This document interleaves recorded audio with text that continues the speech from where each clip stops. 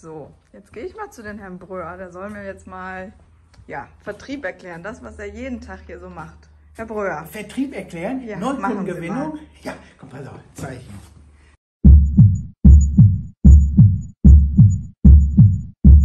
Wie viel Zeit haben wir denn? Fünf Minuten, Herr Bröer, in So, fünf Minuten. dann müssen Sie jetzt dieses Buch lesen und dann müssen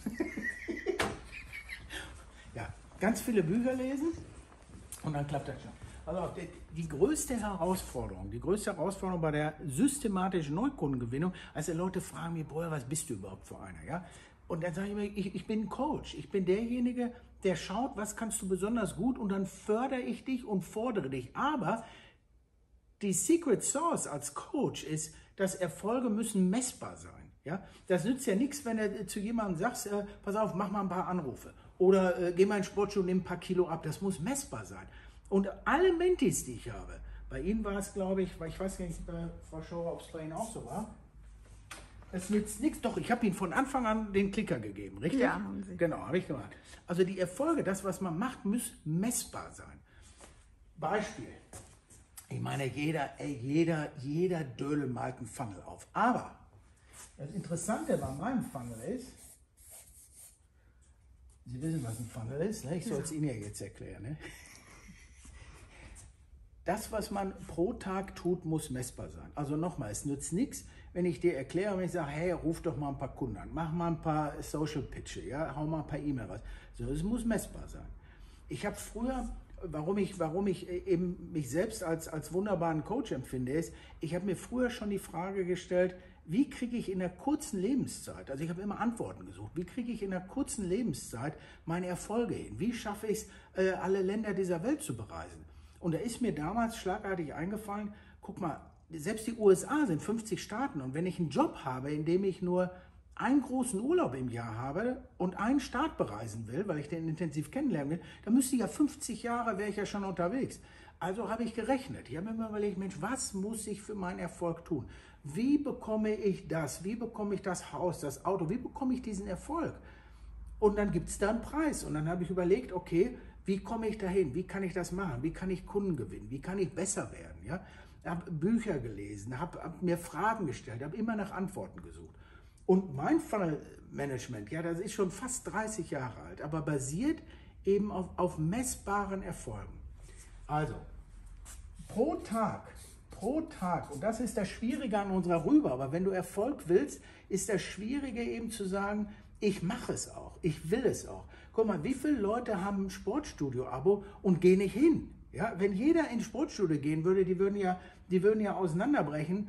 Das heißt, die leben ja auch davon, dass die Leute eben nicht hingehen. Ja, wie viele Leute wollen gerne Neukunden gewinnen? Wie viele Leute wollen Erfolg, neues Auto, neues Haus, wollen aber nicht den Weg gehen? Ja, also jeder will Muskeln haben, aber keiner will trainieren. Jeder will Erfolg haben, aber keiner will was dafür tun.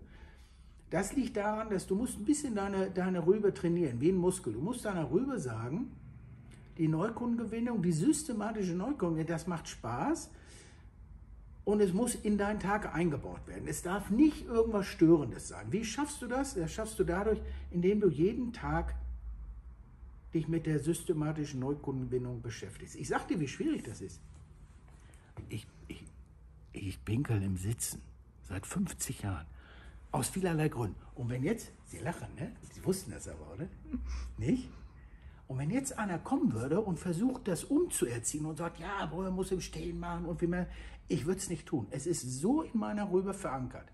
Das Gleiche schaffst du aber auch mit der systematischen Neukundengewinnung, okay? Da brauchst du keine Bücher für, sondern du musst das tun. Also, für Amateure, für Newcomer im Sales, für Newcomer im Sales im B2B-Bereich, erklärungsbedürftige Dienstleistung, ist die Regel, du musst 150 Pitche, Pings, Kontakte in deinen Funnel packen. 150.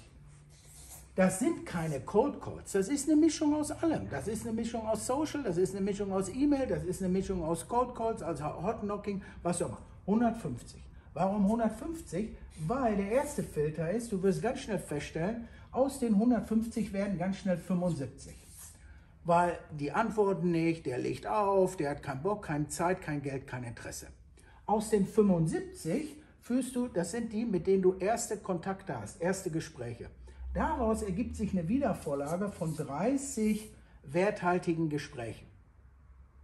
Aus den 30 werthaltigen Gesprächen, wo du wirklich face-to-face, Zoom, Skype, wo du wirklich mit jemandem sprichst, daraus ergeben sich weitere 15 warme Leads. Da redet ihr schon über Konditionen, über Lösungen und, und, und äh, lacht wahrscheinlich gemeinsam zusammen. Ja? Und von den 15 sagen aber einige, ja, pass auf, Frau Schauer, Herr Breuer, diese Woche nicht, dieses Quartal nicht, aber bald. Aber circa sieben sagen, mach mir ein Angebot. Und aus den sieben, sagt Adam Riese, sagt die Statistik, ergibt sich ein Erfolg. Einmal kannst du aus diesen 150 eine Rechnung schreiben. Das ist fast schon die ganze Wahrheit. Jetzt nochmal das Thema Messbarkeit. Ja? Wir haben, wo ist eigentlich das kleinste CRM der Welt? Wo ist das? Wo ist unser Klicker? Ach komm, schnell, müssen wir noch einmal holen. Müssen wir noch einmal schnell holen. Ich habe immer, da, ich habe immer welche, immer welche zum Verschenken dabei. So.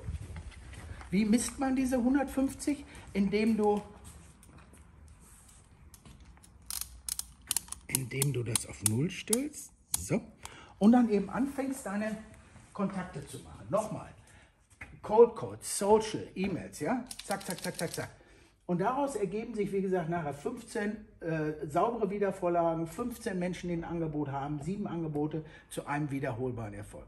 Das ist fast schon die ganze Wahrheit, was gute Führungskräfte oder gute Sales leider vergessen, die sagen, ja, okay, mache ich 150, machen die vielleicht in zwei Wochen. Nein, die 150, die 150 musst du an einem Tag machen.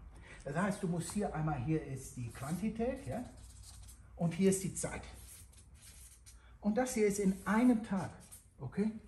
Ja, Herr Breuer, ich bin aber kein Callcenter, äh, das kann ich nicht machen, das ist viel zu viel. Uh, uh, really? Ich meine, was hast du denn zu tun? Ich meine, hast du genug Kunden? Gut, dann brauchst du das nicht machen. Morgen zeige ich dir zum Beispiel ein Modell, das ist für Newcomer, für Amateure, die extrem viel Qualität noch durch Quantität ersetzen müssen, die noch keine richtigen geilen Kommunikatoren, Sales sind, die müssen noch viel per Fleiß machen. Das ist viel Fleißarbeit, okay? Aber du hast doch eh nichts anderes zu tun. Du hast doch morgens aufgewacht, hast keinen Kunden. Was kann schon passieren? Abends bist du wenigstens fleißig gewesen, Zunge hat sich geschärft. Morgen zeige ich euch das Modell, was für Profis ist. Aber du musst das an einem Tag machen. Das Interessante dabei ist, deine Rübe lernt das, deine Rübe will den Schmerz nicht, deine Rübe will besser werden, du willst besser werden. Und nach einem Tag, nach einer Woche verändert sich hier schon der Quotient. Du wirst nicht mehr 150 zu 1 telefonieren, wirst du nicht mehr, ganz sicher nicht mehr. Aber ich schwöre dir, du musst, wenn du abnehmen willst, musst du deine Ernährung für eine lange Zeit umstellen. Wenn du zum Sitzpinkler, zum Stehpinkler werden, das dauert. Wenn du Muckis aufbauen willst, musst du viel und lange trainieren. Und dann kommst du in so ein Momentum, dann kreierst du das. Im Moment reden wir noch viel über Quantität, aber nach einer Woche, nach zwei Wochen, nach drei Wochen verändert sich dieser Quotient. Da wird eben aus Quantität, wird dann, was, Frau Schauer? Qualität. Ja, Qualität. Ja? Du bist viel, viel besser. Du hast die ganzen Geschichten gehört, diese ganzen Ausreden, diese ganzen Ich melde mich, das hast du gehört. Und du wirst hier viel, viel schneller. Und vielleicht hast du nach vier Wochen, vielleicht hast du nach vier Wochen äh, 50 zu 4. I don't know. I don't know. Aber am Anfang, am Anfang musst du noch mal ein bisschen schwitzen. Ja, am Anfang tut das ein bisschen weh. Okay,